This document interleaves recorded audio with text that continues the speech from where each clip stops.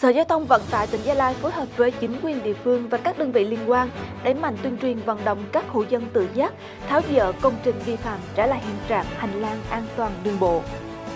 Báo Gia Lai hai năm liên đặt giải báo chí quốc gia. Hội Liên hiệp Phụ nữ Gia Lai tham gia các hoạt động kỷ niệm Ngày Gia đình Việt Nam. Pleiku cần thực hiện tốt công tác bồi thường hỗ trợ, tái định cư. Gia Ba 22 năm tù cho các đối tượng tổ chức sử dụng trái phép chất ma túy.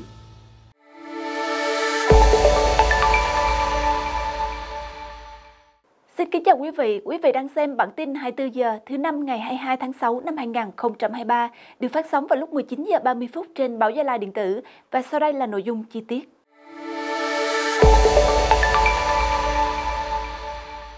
Kính thưa quý vị, Sở Giao thông Vận tải tỉnh Gia Lai phối hợp với chính quyền địa phương và các đơn vị liên quan để mạnh tuyên truyền, vận động các hộ dân tự giác tháo dỡ công trình vi phạm, trả lại hiện trạng hành lang an toàn đường bộ.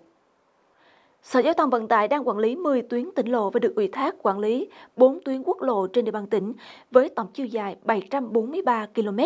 để nâng cao ý thức tự giác chấp hành pháp luật của các tổ chức cá nhân trong việc quản lý bảo vệ kết cấu hạ tầng giao thông đường bộ. Tháng 2 năm 2023, Thanh tra Sở Giao thông Vận tải đã ban hành kế hoạch số 08 về việc tổ chức tuyên truyền công tác quản lý, bảo vệ kết cấu hạ tầng giao thông đường bộ trên các tuyến quốc lộ tỉnh lộ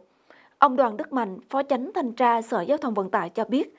thực hiện kế hoạch này Thanh tra sở sẽ tập trung phối hợp với chính quyền các địa phương, lực lượng chức năng tuyên truyền phổ biến quy định pháp luật về quản lý bảo vệ kết cấu hạ tầng giao thông đường bộ cho các tổ chức cá nhân dọc hai bên tuyến đường, đồng thời tuyên truyền các mức xử phạt vi phạm hành chính được quy định tại Nghị định số 100 xoẹt 2019 NDCB ngày 30 tháng 12 năm 2019 của Chính phủ quy định về xử phạt vi phạm hành chính trong lĩnh vực giao thông đường bộ và đường sắt. Ngày 21 tháng 6 tại Cung Văn hóa Lao động hữu nghị Việt Xô thành phố Hà Nội, Hội đồng Giải báo chí quốc gia đã trao 8 giải A, 24 giải B, 46 giải C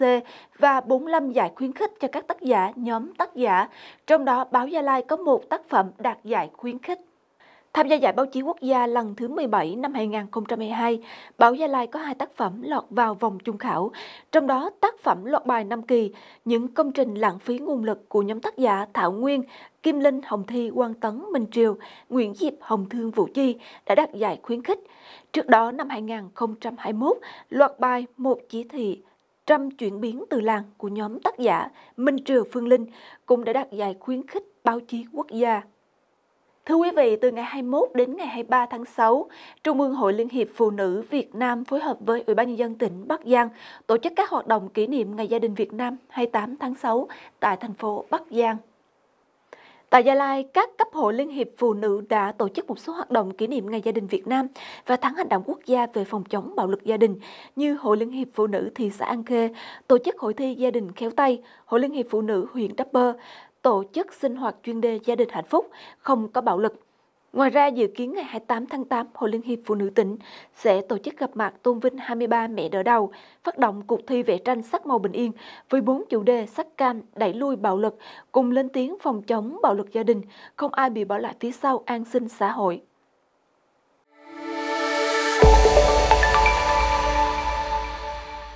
Sáng ngày 21 tháng 6, Ban chấp hành Đảng bộ thành phố Pleiku tỉnh Gia Lai tổ chức hội nghị lần thứ 13 mở rộng để sơ kết giữa nhiệm kỳ thực hiện nghị quyết Đại hội Đảng bộ thành phố lần thứ 12, nhiệm kỳ 2020-2025 và đánh giá tình hình thực hiện nhiệm vụ công tác 6 tháng đầu năm, triển khai nhiệm vụ công tác 6 tháng cuối năm 2023.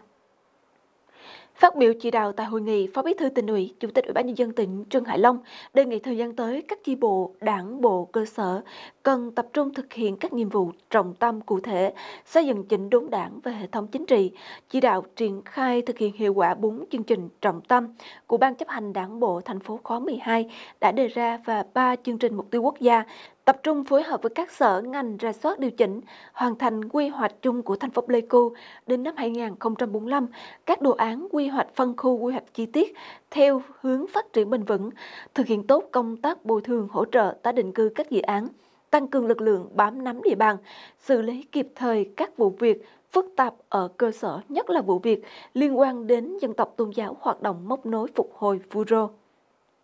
Dịp này, Ban Thường vụ tỉnh ủy đã tặng bằng khen cho chi bộ công an thuộc Đảng bộ phường Phù Đổng đạt danh hiệu hoàn thành xuất sắc nhiệm vụ tiêu biểu 5 năm liền 2018-2022, tặng bằng khen cho 28 đảng viên đạt tiêu chuẩn hoàn thành xuất sắc nhiệm vụ 5 năm liền 2018-2022. Ngày 20 tháng 6, Tòa án Nhân dân huyện Gia Ba, tỉnh Gia Lai đã mở phiên tòa hình sự sơ thẩm xét xử ba bị cáo gồm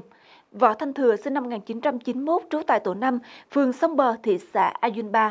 Rô Ái sinh năm 2001 trú tại buôn Biabơ, xã Gia Tu, huyện Gia Ba và Cờ So Sinh sinh năm 2002 trú tại tổ 9 phường Đoàn Kết, thị xã Ayunpa, cùng về tội tổ chức sử dụng trái phép chất ma túy.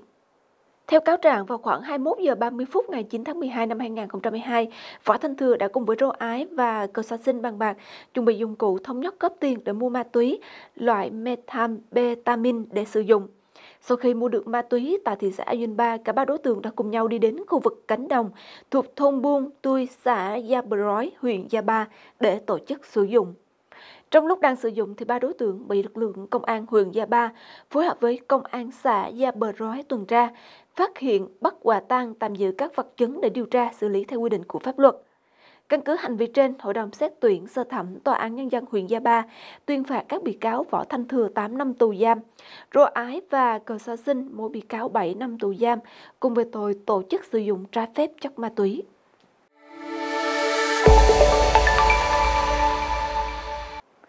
Đến đây chúng tôi xin được kết thúc bản tin 24 giờ hôm nay. Cảm ơn sự quan tâm theo dõi của quý vị và các bạn. Xin kính chào tạm biệt và hẹn gặp lại vào bản tin ngày mai.